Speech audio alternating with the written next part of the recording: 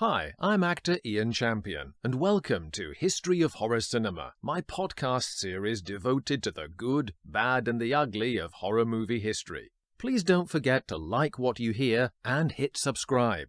I have such sights to show you. Revolt of the Zombies, 1936.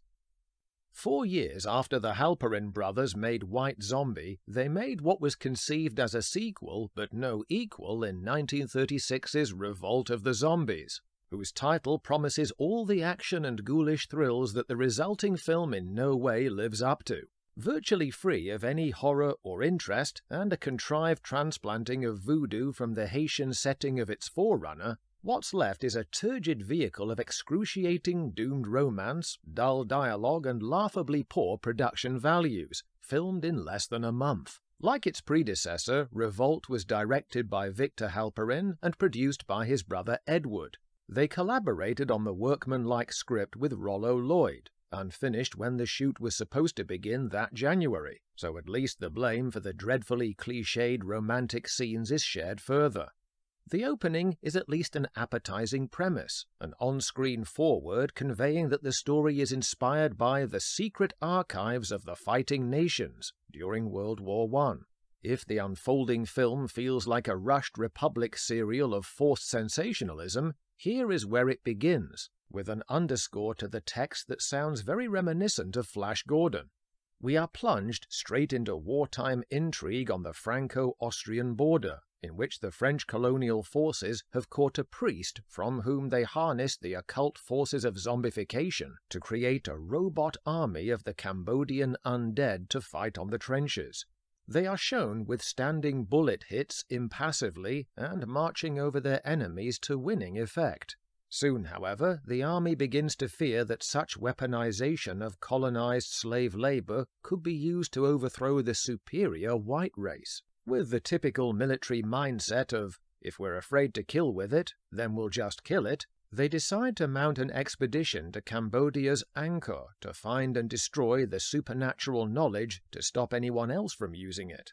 Meanwhile, the priest is murdered by the suave, goatee bearded General Mazovia, musical theatre singer Roy D'Arcy, an expert on dead languages, his character may be a rare case of a resume bullet dodged by Bela Lugosi, perhaps, although, unbeknownst to Lugosi, he does appear in the film. His disembodied hypnotic eyes from White Zombie are double exposed on screen at key moments, probably without permission. From here, the wheels come right off the transport, as the rest of the movie eschews supernatural combat, or indeed a rollicking explorer yarn, in favor of the drearily played love triangle between explorers Armand Louque, Dean Jagger, slumming it before his later Academy Award winner in 1949 for 12 O'Clock High, Robert Noland's Clifford Grayson, and Claire Duval, Dorothy Stone. Duval is the flirtatious and dangerous nexus between the two men, using Armand to make Clifford jealous by accepting his proposal of marriage, which allows Stone to display a steely edge underneath her feminine wiles, like that of Mae Busch. Clifford is a selfish go getter whose ruthlessness makes Armand reflect on whether he could ever be so uncaring in pursuit of his aims. Revolt barely even pretends to be the exotic locations it represents. The Halperins simply sent a camera crew to Angkor to film background shots. The copious use of it in back projection is not only evident in the explorer's expository tent scene with Angkor Wat Temple in the background, but even more risibly in the sequence where Armand and a native wade through water to the jungle. This is laughably achieved by pointless close ups of both actors, statically loping side to side in front of a backdrop of receding jungle river footage. In long shot, they are at least credibly moving along the soundstage's water set. The cast plods further through the interminable foliage of thwarted love tripe while we long for a somnambulistic shuffle or two, if not a full blown zombie attack.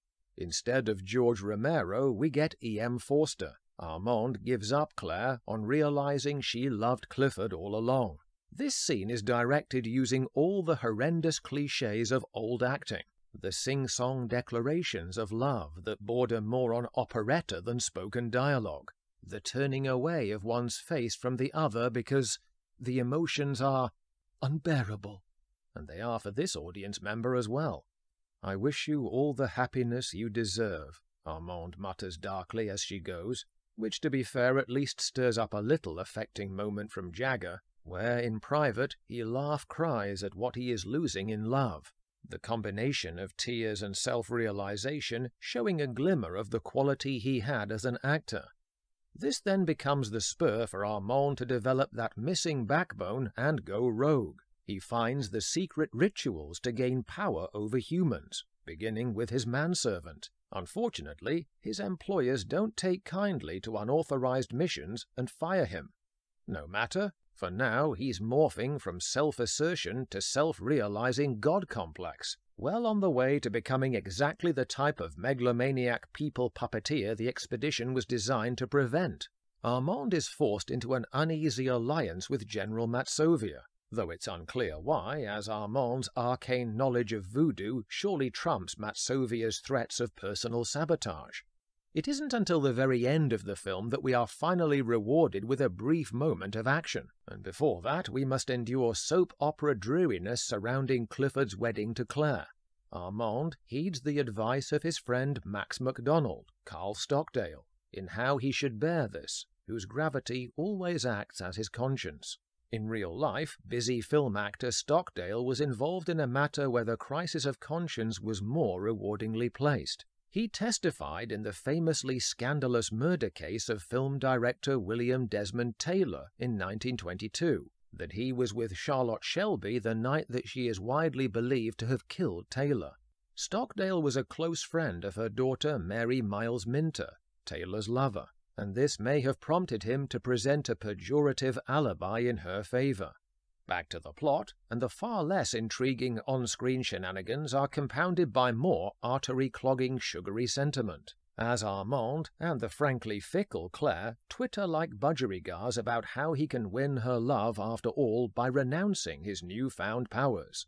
Leaving aside the matter of whether it's worth giving up world-dominating super abilities for a woman who changes her choice of partner like bed linen, there is no time for anything except relinquishing his hold on all the players, cringingly conveyed by a montage of actors blinking in sudden wakefulness. The natives revolting is more palatable than the revolting melodrama, and as they rise against the white explorer's research station in an all too brief siege of excitement, Armand sacrifices himself to their guns, thus proving that a good actor in a bad movie never goes unpunished. It only remains for Stockdale to concuss the movie in attempting to raise the bar by misquoting Prometheus from Longfellow's 1875 poem The Masque of Pandora, whom the gods would destroy, they first make mad. A group who were made mad by revolt of the zombies, other than any ticket buyers, was Amusement Securities Corporation, co-financier of the earlier White Zombie. Their amusement was unsecured by the mention of the word zombie in the name, which their contract allegedly gave them sole rights to for film titles. Jamie Russell's superb Book of the Dead refers to a redistribution contract the company took out, which meant that this unlawful, awful offspring arguably represented unfair competition. They filed suit against the Halperins before its release, and eventually won the case, being awarded $11,500 and the brothers' enforced removal of pollutant claims that Revolt was a sequel to White Zombie. Thanks for listening, and if you like what you've just heard, don't forget to click so, and please hit subscribe. If you build it, they will come.